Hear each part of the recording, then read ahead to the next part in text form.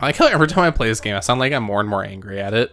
I was like, I've, I've already come to terms with how lackluster this game is. I just really like, a- like, You just like complaining. I do. I'm